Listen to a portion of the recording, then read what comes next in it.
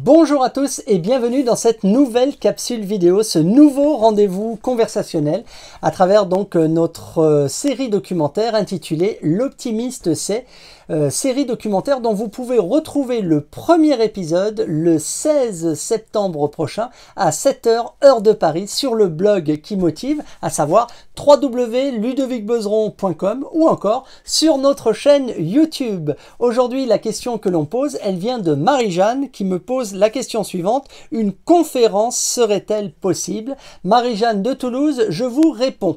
Eh bien, s'il existe un domaine, Marie-Jeanne, qui me plaît particulièrement, sachez que c'est bien la prise de parole en public. Oui, parfaitement. C'est euh, un domaine qui me fascine. J'ai toujours été fasciné. J'aime écouter, j'aime voir, j'aime comprendre, j'aime sentir la magie des orateurs. Vous savez, je ne me lasse pas d'écouter les grands orateurs. J'aime vraiment, littéralement, j'aime euh, euh, ce son J'aime cette ambiance, j'aime être captivé, j'aime être absorbé par les grands orateurs. Alors à la question, une conférence serait-elle possible?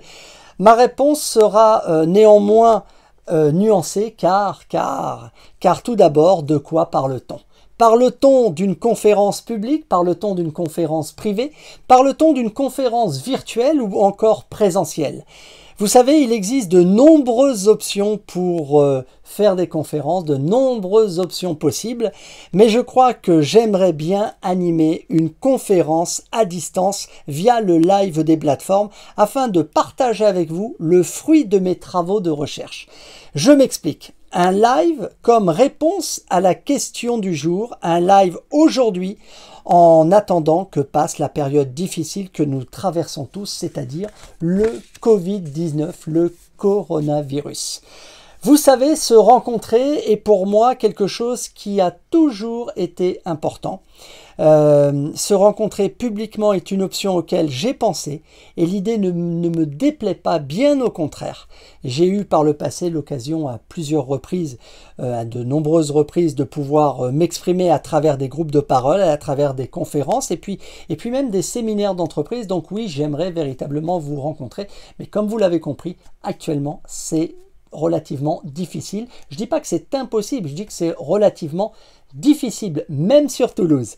Aussi, parler de ce que l'avenir nous réserve et de ces solutions que Jean nous transmet à travers son livre, le livre de l'Apocalypse, me semble être une optimiste idée. Alors je vous promets d'y réfléchir à nouveau. Je vous promets de réfléchir à la question de y aura-t-il une conférence dans l'avenir?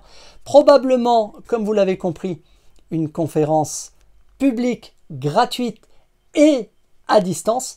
Mais pour l'instant, c'est tout ce que je peux vous promettre. Pour l'heure, eh bien, je vous, je vous donne rendez-vous encore le 16 septembre prochain à 7h heure de Paris pour euh, la sortie de notre premier épisode de euh, la série documentaire intitulée L'optimiste c'est 7h heure de Paris sur la chaîne YouTube ou encore sur le blog qui motive à savoir ludovicbezeron.com. À bientôt. Ciao ciao.